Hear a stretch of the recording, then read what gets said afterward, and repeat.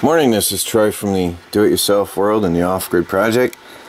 It was cold, cold last night. It was 6 degrees last night at midnight, around 11 o'clock. It was 6 degrees. And today we have heavy winds with gusts up to 40 miles an hour. So I'm really keeping an eye on the solar panels. That worries me there. They've withstood a lot though. And my, my storage tents and canopy but the uh, the chickens are fine. They made it through all right. And that's the coldest I've seen yet since I've had these birds. I don't know what last year was like because I wasn't here. But it was cold last night, really cold and windy. And all the chickens are fine. I had put up some more protection and shelter for them to keep the wind out. And every single one, even the tiny bantams, are alive and well. I'm running low on water. It's hard because I have to hand cart. The, the truck brakes are leaking and I my patch kit isn't working because it's too cold, which is annoying. And uh, it's the coiled spring wire, which means I'd have to buy an extra, extra long wire. It's about probably uh, six, eight foot long. And I'd have to coil it myself. So I tried patching it and uh, it didn't take because it's too cold. So I'm hand carting jugs of water. We have wind chill warnings today, uh, minus 25 degrees below Fahrenheit wind chill. Uh, warnings popping up on my cell phone on the weather channel continuously. So it's cold out there. It's the coldest I've seen yet. In, uh, well, in a few years actually, with that wind chill factor. We've had pretty mild winters so far and been pretty lucky, I think. Now, to the batteries. I had the forklift batteries uncharged last night, and they are, um, this morning they were at 12.2 volts, which they are sulfated, so now these are the forklift batteries. So everybody that was sick of hearing about the golf cart batteries, that day is done. The golf cart batteries are disconnected completely. These are the forklift batteries. Now, they are sitting at 12.9 volts. My computer is on, and my modem is on. And I have 45 watts of charge coming in from the solar panels. I'm going to go out and see if I need to sweep them off. I might be able to improve that a bit. It is going to get cloudy today and we're going to get more snow, so I'm going to enjoy what I've got coming in while I have it. Now these batteries do show a very high voltage under some very little charge. So there's only 4 amps, less than 4 amps coming in. They are sulfated, so they are, see it's showing absorption mode. The um, batteries really aren't taking a lot of charge right now, so they, they are going to need to be desulfated. The good news is my new, or used, I should say, reconditioned forklift battery bank is on its way. It will be delivered today, and I will be uh, working with, well, it's going to take me time to disassemble that beast. It's 700 pounds, the guy said. So I'll have some issues moving it. So I will be running on this forklift set for a few days, probably until I can get that big, newer one over here. It does come with a guarantee, he said, even if I modify it to use in my tiny house. So it's on its way. That's exciting good news. One thing I have to say, I've been burning a lot more wood with uh, 20 to 45, between 20 and 40 mile an hour winds. And the insulation I never finished upstairs because I was, uh, I had 100 degree temperatures upstairs all the time, so I never insulated yet. Now that it's deeply cold and strong winds, I am burning more wood. A lot more than I had before. I also think that the BTUs of that tree that I cut down are not as much. I notice a serious difference in the, the amount of heat coming off that tree. It's way, way less than anything I've burnt so far. And uh, I'm, I'm not impressed with the amount of heat coming off that wood. It burns up faster and it doesn't give as much warmth. So I'm burning through it faster. That's another factor in in how much wood I'm using. So I'll be going out again in the next day or so and cutting another dead standing tree down to bring up to the tiny house winter is here in full force and we do have cold, cold, cold weather now. And I'm going to start burning some serious amounts of firewood out here now. Because the batteries, the forklift batteries are sulfated from resting so long, I set the TriStar MPPT charge controller to manually equalize. I um, manually put it into equalize mode, which puts it at 15.6 volts at 10 amps for an extended period, and that will boil off the um, that will cause boiling in the in the um, batteries and help to break up the sulfation in the plates. Now, why did it just kick back out? Hmm. That's odd. It just kicked off. It shouldn't do that. I hope it goes back in. I might have to kick it back. Well, no, it's still at 15.4 volts, so it's doing whatever it has to do. Might be just that a uh, cloud passed over something. But I'll let that do its job and boil off the the uh, sulfation on the plates and that mixes the acid in better. By putting in a higher voltage like this, it mixes the acid.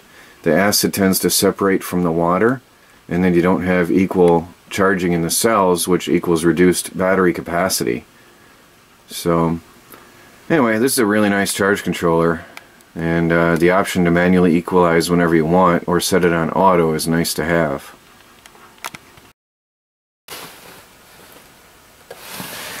I'm at 16.2 volts equalizing 200 watts coming in which is nice for this time of year let's go outside and see if the batteries are boiling a bit well I don't see anything oh by the way there's a um, charger that was on clearance at Tractor Supply that I uh, grabbed. It is it has a manual mode, and that's what I was using yesterday actually. It was on clearance. It was one of the Christmas gifts that they put on deep deep discount, so I grabbed it, and it works. I had the batteries charging up nicely last night. Well, I don't see any boiling. Um, should be able to actually see bubbling going on, even though the uh, the cases are only semi-transparent. You should be able to see some bubbling. I don't see any bubbling going on right now. Make sure the cells are still cold. Cold to the touch. Means they're not overheating or anything. Well, I'll let them keep going. Let that uh, charge controller do its job. Well, we're at 16 volts, 160 watts and equalizing. Very good. I hope it keeps going all day and uh, well, as long as this thing is programmed to do. Boil those batteries. I know it's all about the batteries recently, but uh, when you're off the grid, it's all about the batteries. Seriously, in winter, it's all about the batteries when you're living off the grid. I'm trying to show you how it is. I hold nothing back. I show my mistakes, and I show my successes, and I show happy times when your batteries are boiling. 16.1 volts, 19 degrees on the batteries. Cold. Well, it's partly sunny, um, partly sunny at best, but it is giving me some power in the uh, tiny house battery bank, the old uh, forklift batteries. We are still in equalized mode at 16.2 volts and 200 watts coming in. That's 12.9 amps, almost 13 amps. That's very, very good. That's actually the most I've seen in a long time coming in here. So, and it's now, what time is it? 1 o'clock in the afternoon. So these have been equalizing for a couple hours now. So it's good. Very good. Hopefully it'll do them some good and improve those old forklift batteries. Meantime, the reconditioned battery bank is on its way. Should arrive any time now. He had said 12 o'clock he'd arrive, but I figured 1 or 2. So we'll see. He's coming from the farthest point of Long Island. Should be a good three hour drive, I'm figuring, even with no traffic. So I'm expecting a phone call at any minute now. Got a gigantic box. Baby's excited. There's a box.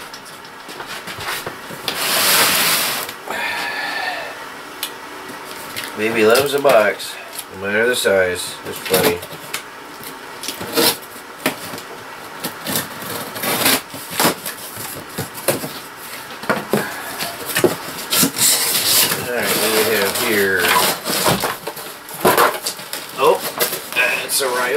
It's green. Oh, what is it? It's in there tight. Uh, huh?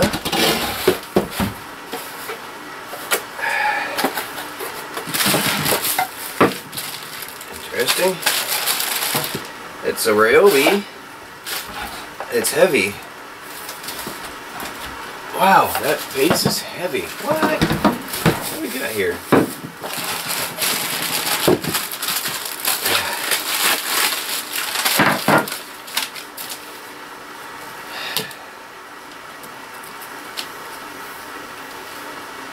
Forgive me a minute.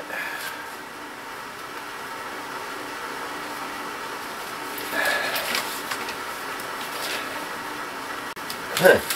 This is a Ryobi cultivator. And it's got a heavy base. Wow. And, and uh, two, okay, I see. That's what confuses me. It's got two cultivator heads.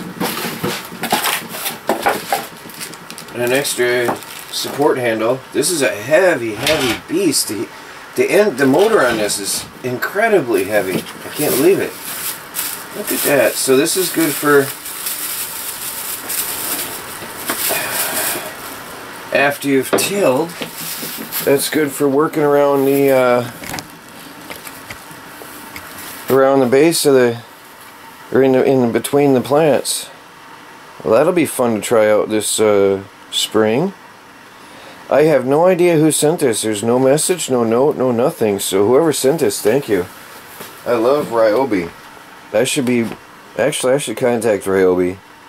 I market these guys so much, it's unbelievable. And a baby's got a mansion. That's a baby cat mansion now. Well, whoever said this, this is awesome. Oops, there's a baby doing what she does best. Now you got me wanting to wait to, uh, anxious for spring to try this beast out. That is heavy. The base, the engine head of this is just really, really heavy. Wow. And uh, I saw in the instructions it's telescopic, so you, you can extend the length to baby. the baby cat's got a mansion to play in. That's funny. Well, this is quite a tool. Um, please, if you want to be known, come on in the comments and say hi. And thank you. Well, I had to put it together right away. I'm going to give it a try out. But, boy, that's... It feels like it's a good tool. It's ruggedly built. Definitely feels solid. I had to use needle nose pliers to get the pins in there. That was awkward. But, I got it. It's a good uh, weed cutter for between the rows. Looks good. Feels heavy, solid.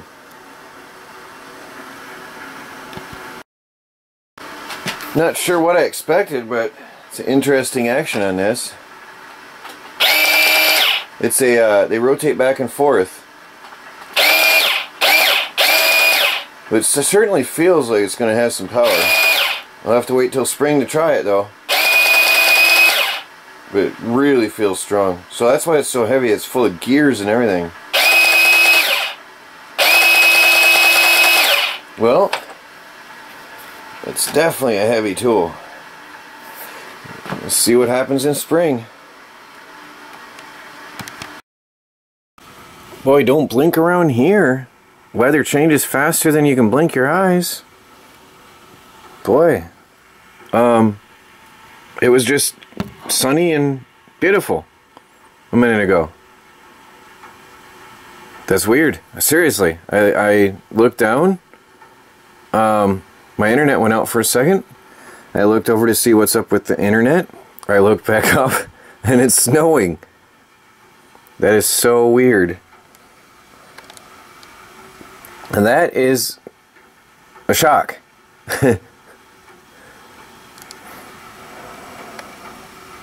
I didn't see that coming.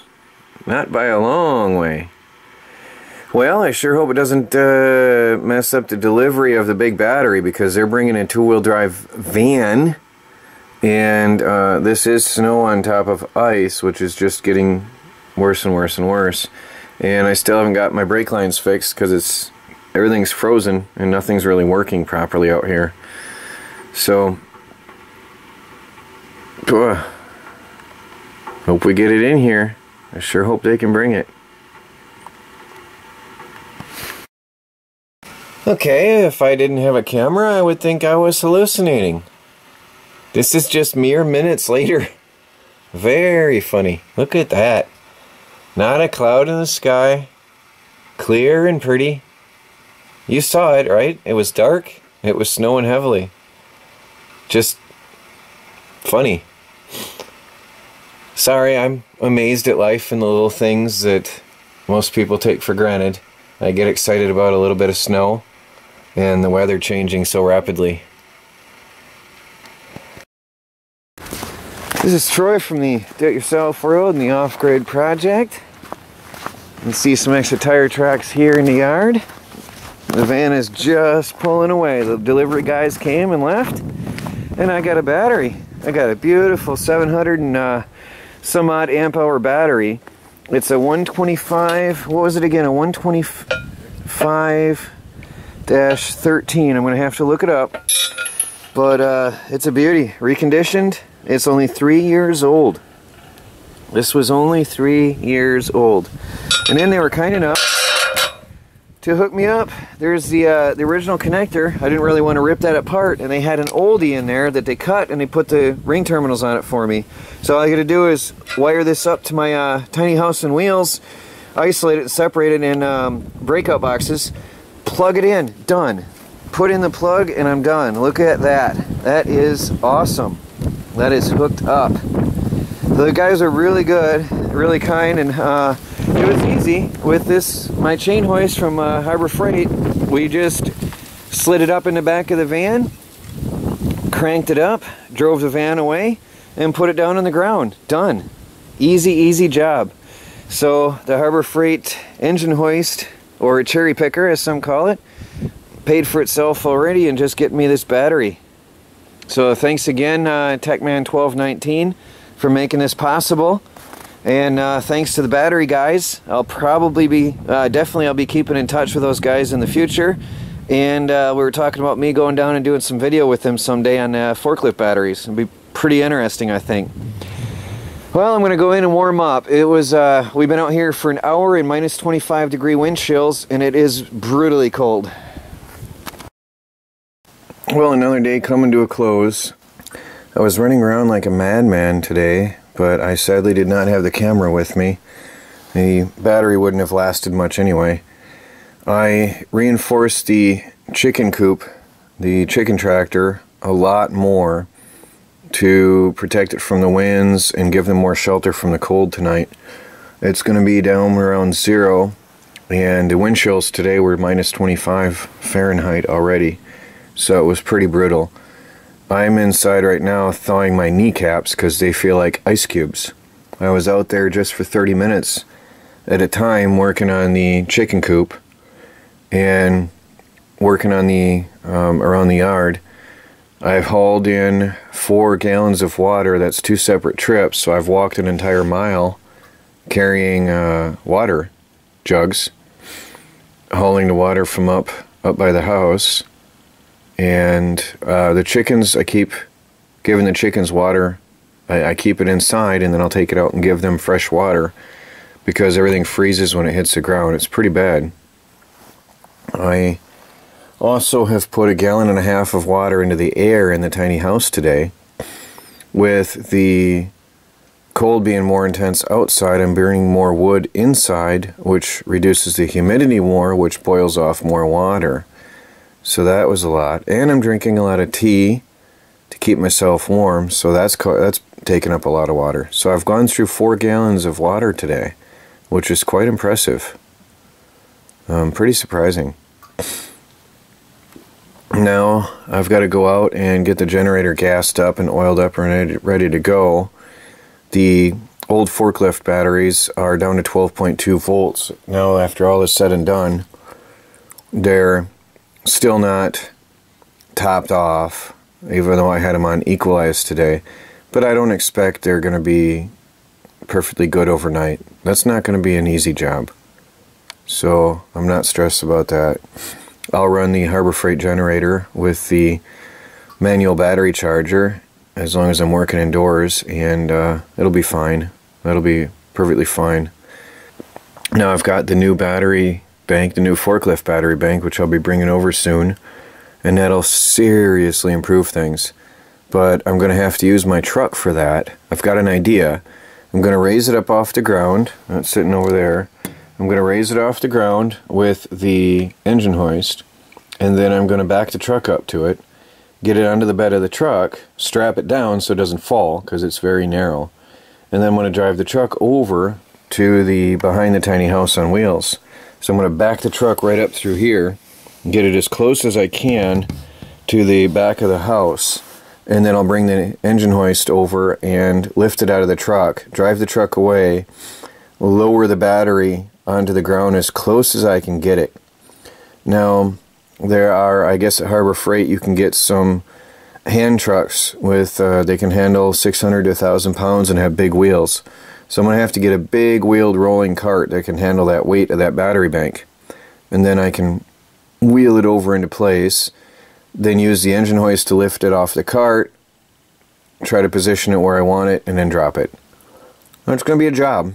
It's going to definitely going to be a serious job, especially with a cold like it is, because you can't be out too long at one time. It just the wind is blasting through your clothing. Um, they actually have warnings um, to stay inside, but you know you got to work. So that's what I was doing today when I wasn't. I was running around without the camera in my hand. Forgive me. The guys didn't want to be recorded here and now, which is understandable. But I'll probably go visit them at the warehouse one day. The battery guys. That'll make a good video. So I've got to go out and get the generator running and batten down the hatches for the night out here and make sure everything's tied down.